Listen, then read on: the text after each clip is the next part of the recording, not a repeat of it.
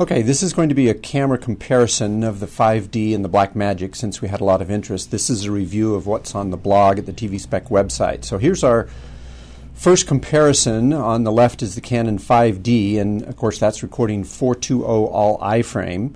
And on the right side is uh, the Blackmagic. We use the 422 ProRes since that's what a lot of people will be using and should, for the purposes of what we're looking at, be able to show some of the differences.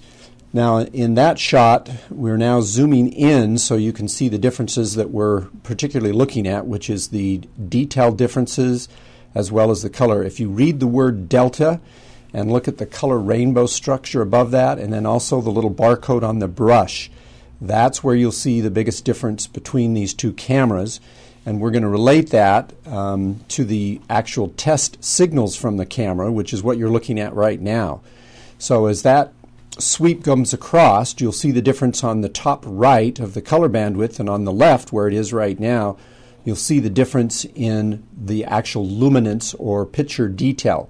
Both had uh, their flat, no enhancement turned on, which is how we did all of the cameras. They're both at 2.8, in this case with the same Canon lens. Now, what we're going to be looking at is the lighting uh, settings that we used. The cinematographer Rod set these up and here you're looking at the standard lighting, which was set up for getting basically the best out of each camera. And you'll notice that both of them are capable of very good uh, detail and color sharpness, particularly when the light is good.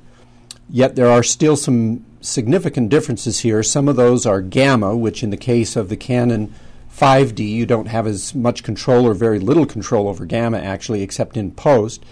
Now, this is the real stress test. We've gone down to the ultra low lighting, where the majority of the lighting on the artist is actually coming from the candle. And you'll see that the Blackmagic, which has a max uh, ISO of 3200, is still relatively, uh, it's a little bit darker, but both of these were set with the candle at 100 IRE on the scope.